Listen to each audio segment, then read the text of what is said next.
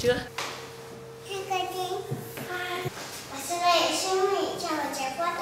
Ca sĩ.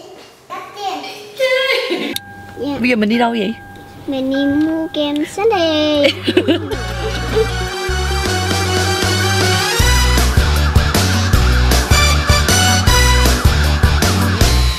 Một lần đã lỡ bước chân vào chốn giấc mơ tình ái.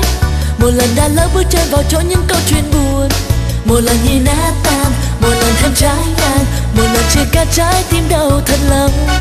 Một ngày mong nhớ tưởng như cho kiếp sẽ không gặp nữa Một ngày thương nhớ tưởng như cho kiếp sẽ luôn mong chờ. Một ngày ta tái tê, Một ngày ta ngủ mê, Một ngày đau xót trái thì thêm mê chê Hãy nói với chính mình, Ta chẳng khi nào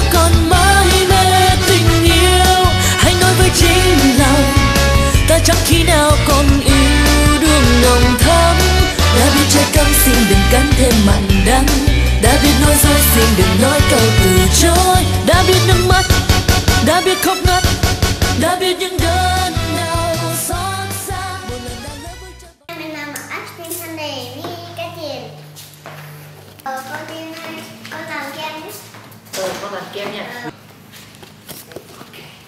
Mà ai muốn kem muốn kem vô cái tô Cô tiên ơi, cô tiên có xi mới chưa? ờ chưa sao vậy cô tiên? tại vì cô tiên đi làm biến đi thầu quá giờ mình bỏ phốt. Phương ơi để cô cô cô lấy kem cho con nha Lấy nè. ô cô lấy mình lên con tắt nó trước này nè rồi xịn nó vô Wow, very Wow. creamy. Wow.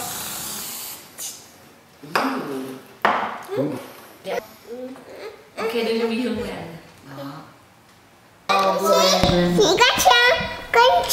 rồi cheers cheers Stop it. Ăn chừng đổ nha rớt Nó bỏ đấy nè.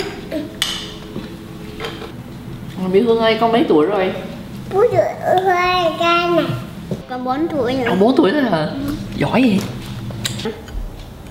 chưa hả Dạ, siêu lắm. Nhâm. Nhâm nhầm. Nhâm nhâm kìa Được. xong rồi à định quên Ông ơi nè. ồ còn thêm hả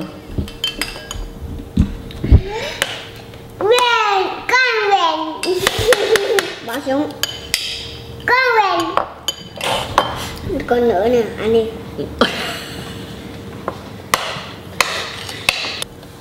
Có ăn kem chuối mà. Cảm ơn quý vị đã xem chương trình. Ice Cream Sunday với Bình Hường. Và cô Cát Tiên. Thank you for watching my listen Bye bye. bye bye quý vị. Bye bye.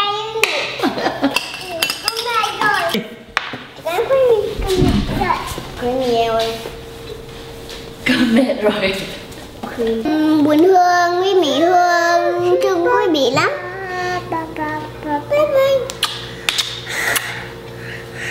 Bye bye. Bye bye bye bye bye bye bye đã biết nước mắt đã biết khóc ngất đã biết những đêm